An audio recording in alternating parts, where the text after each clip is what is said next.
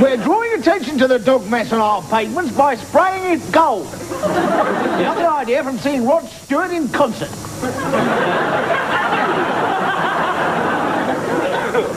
Sir Giles, Chris Serle. Hello, Chris. So, how long does it take to become a leading transplant surgeon? Uh, well, Chris, about uh, 10 years of medical school, 15 years postgraduate research, uh, probably 20 years training in a teaching hospital, and oh, about 10 years specialization. And I've got just eight days. Oh well, in for a penny.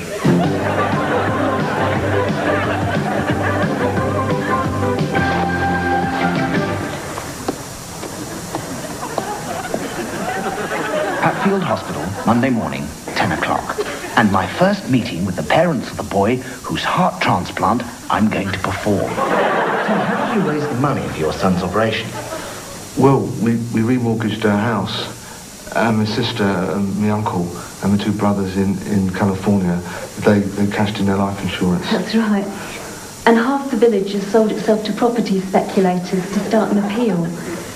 So you're quite keen for the operation to be a success? And yeah, So, time to get the show on the road then. Now, Chris, let's find out what you know about the human body, shall we? Do you know where the heart is, for example? There? Oh, you're not a million miles away, Chris. It's actually just up there, you see. Is it really? Here.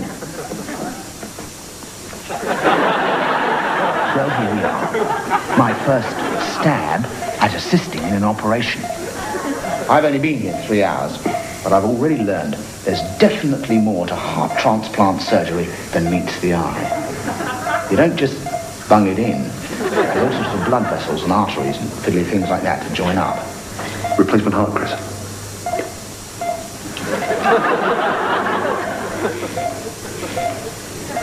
Now, is this the one to go in or the one that's just come out?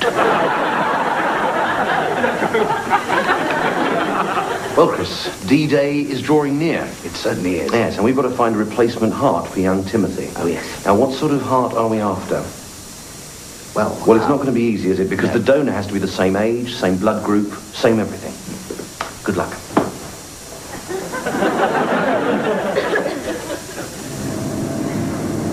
Two hours to go, and I still haven't found a donor. It's a dash.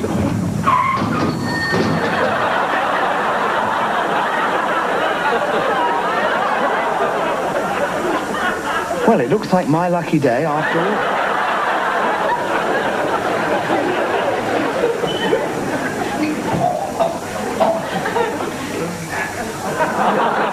So the big moment has finally come. Well, good luck, Chris. Have you got the heart?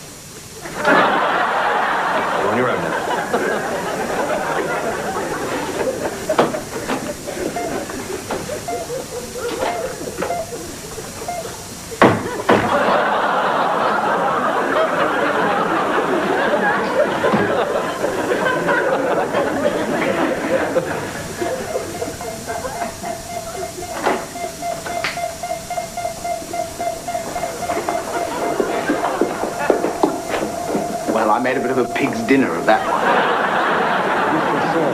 Your attempts to involve yourself in the intricate and complex medical treatment of that young boy's serious condition were an unmitigated disaster.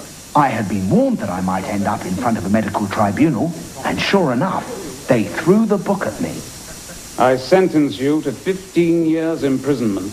So join me in at the deep end in two weeks' time to find out how I get on in my attempt to break out of Parkhurst.